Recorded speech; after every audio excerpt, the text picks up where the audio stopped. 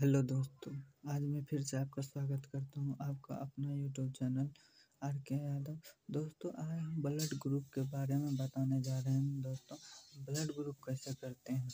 Blood group करते हैं तो कैसे फाटता है मतलब कैसे आपको पॉजिटिव, निगेटिव पता चलता है? तो देखते हैं दोस्तों।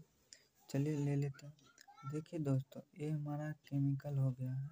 केमिकल जो है आपको निकाल के बता देते हैं दोस्तों। एक मिनट। दोस्तों देखिए, ये मेरा ए ए हो गया। अगर ए डालेंगे तो ए अगर फटता है तो ए पॉजिटिव होता है दोस्तों। फिर देखिए दोस्तों आपको ए बी हो गया। ठीक है दोस्तों, ए बी हो गया। ए बी बी हो गया ना ई, डी हो गया। डी है, ये आर एच है दोस्तों, डी है पर आर एच है। ठीक है दोस्तों, आर एच जो फटता है तो पॉजिटिव होता है, नहीं फटता, निगेटिव होता है। तो देखते ये स्लाइड मेरा ले लिया, हम ले लिया। स्लाइड पर तीनों पर ब्लड डालेंगे। देखिए दोस्तों, तीनों पर ब्लड डाल दिया।